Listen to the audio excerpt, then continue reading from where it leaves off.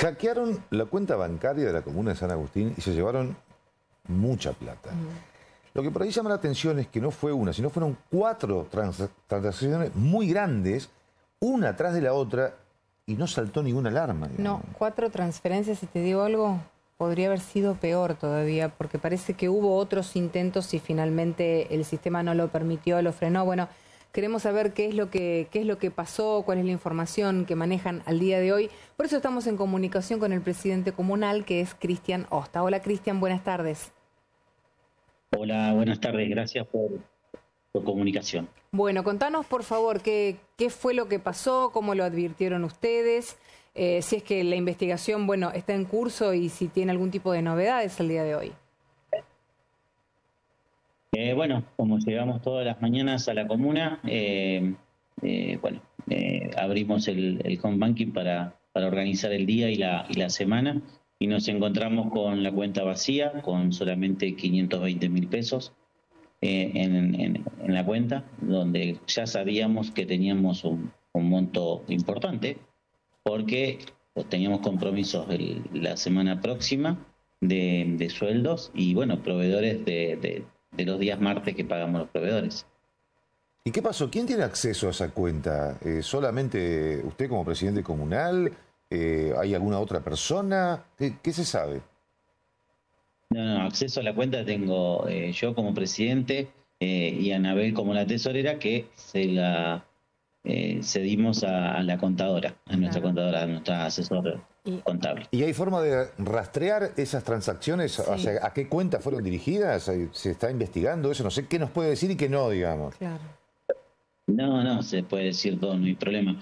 Nosotros cuando o sea, en mi persona ya a seis y cuarto de la mañana del día lunes eh, veo que no hay dinero, enseguida pienso mal, voy a las a los últimos movimientos y veo cuatro transacciones hechas de, de, de 4 millones 900 mil pesos a distintas cuentas eh, y a distintos eh, a distintas personas. Mm. Automáticamente bajo ese, ese comprobante para tenerlo de, de soporte informático de, Constancia y eh, bloqueó la cuenta, la llamo a Anabel, que es la tesorera, también hace lo mismo.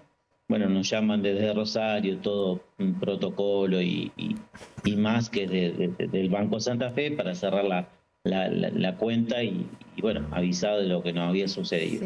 Desde aquí nos trasladamos a la, comisaría, que está acá al lado de la comuna, eh, iniciamos la, la correspondiente denuncia con los, con los datos de cada cuenta, de lo que se había transferido desde, o sea, desde la cuenta de la comuna a, a, otro, a otra entidad. Bancaria siempre porque el Estado no puede transferir a, a cuentas virtuales, eso es bastante importante que capaz nos, no, respalda un poco. Mm. Claro. Mm. ¿Y, ¿Y, el banco pudieron hablar con la, con, con, la entidad financiera con la que ustedes operan habitualmente? Eh, ¿Tuvieron algún diálogo? ¿Le pidieron algún tipo de explicación? ¿Le dieron este, explicación de por qué y cómo había pasado esto?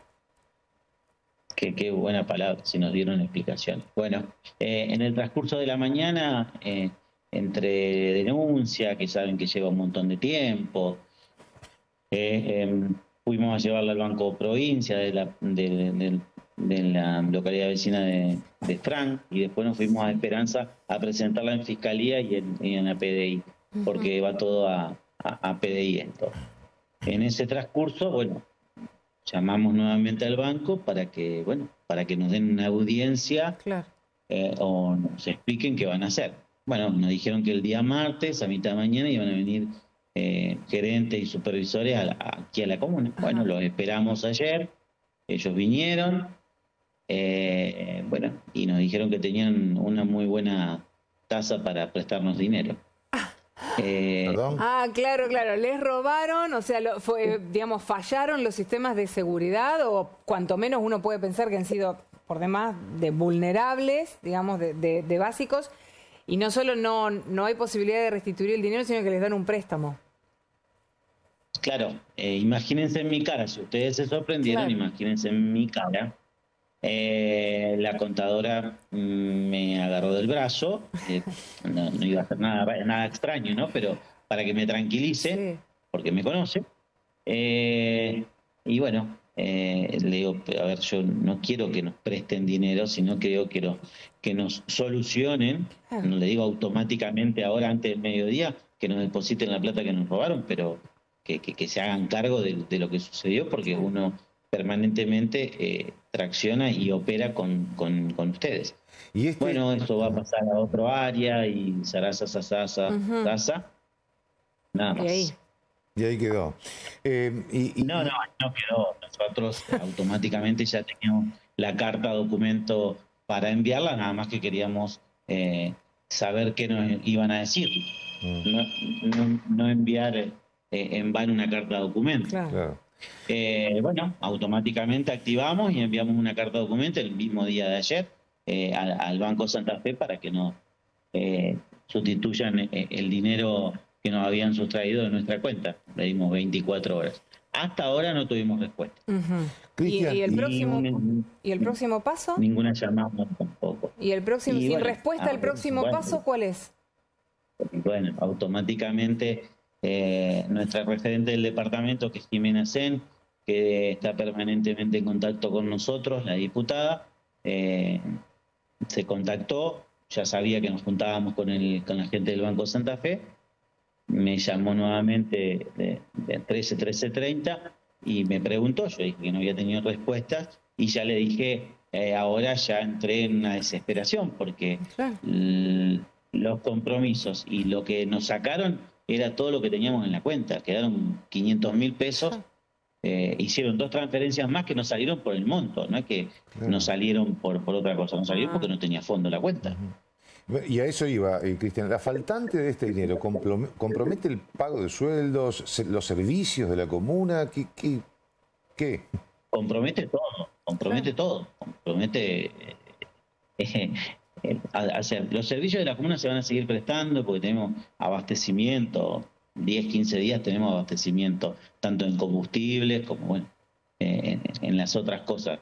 Ya nos juntamos con, con, eh, obras públicas y dijimos, bueno, eh, optimicemos recursos lo máximo que podamos hasta encontrar una solución.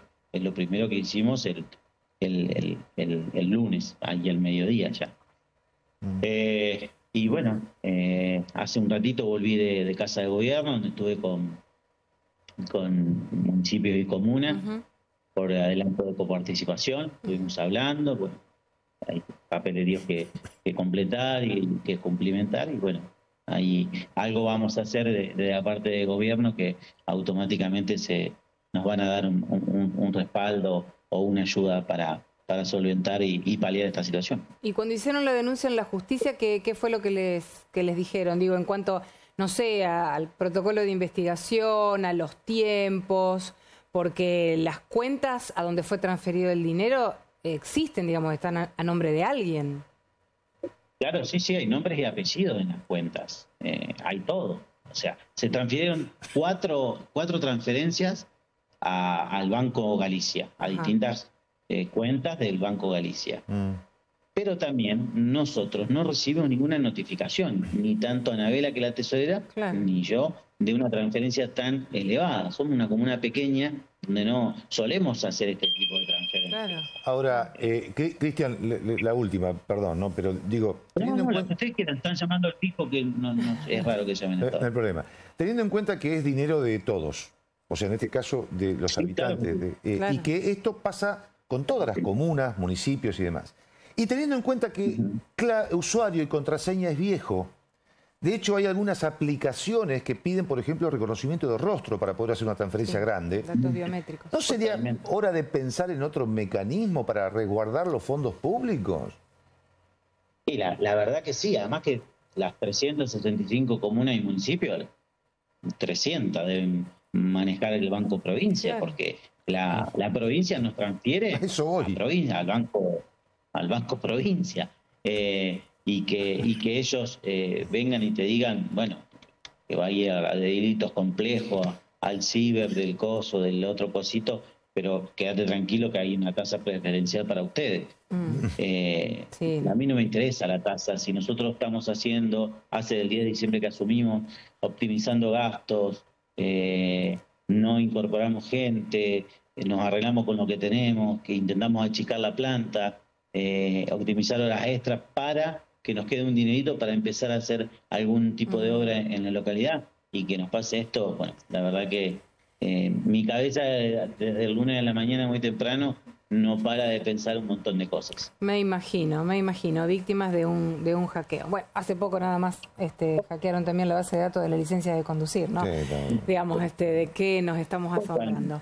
Bueno, nos quedamos al acuerdo de las novedades, Cristian Osta, ¿eh? y siempre a disposición para lo que para lo que necesiten desde acá, desde este espacio de noticias. Muchísimas gracias por estos minutos. No, gracias a ustedes por preocuparse y un abrazo grande. Gracias, buenas tardes.